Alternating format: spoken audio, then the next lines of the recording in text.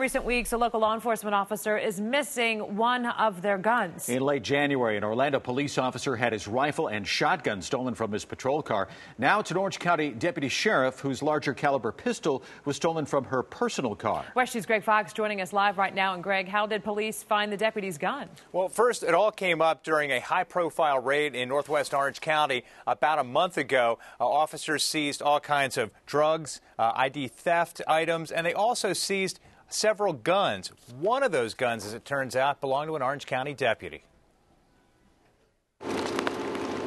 Last month, police raided this Apopka home, finding hundreds of shoes, expensive clothing, computers, more than a thousand stolen credit cards, driver licenses, and Social Security cards. Arrested and charged, Reynald Wilder and Holly Eckert. Police also found several handguns. It wasn't until about a week and a half after the raid that Apopka police discovered one of the weapons confiscated from the home actually had been stolen from an Orange County deputy sheriff. The officer is identified as Peggy Leonard, according to an Altamonte Springs police report.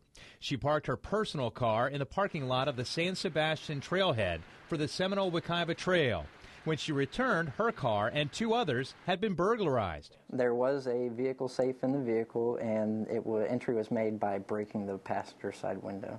Apopka police tell me Deputy Leonard's 45 caliber Glock pistol and other valuables were taken. Anyone is vulnerable. If you leave any valuables in plain view to where if someone walking by through a parking lot looks in through your window and sees something worth taking, they're going to take it. Wilder, the ID theft suspect, was rearrested. Because the deputy's weapon and vehicle were hers, not the department's, no sheriff's office policies were broken. But her colleagues call this a tough lesson and one that might have resulted in the gun being used in a crime. You keep complete control over that firearm in order to help save themselves and save the public. Our attempts to get in touch with the deputy, Deputy Leonard, were unsuccessful. The two suspects in the ID theft case have trials coming up in April and May. Back to you.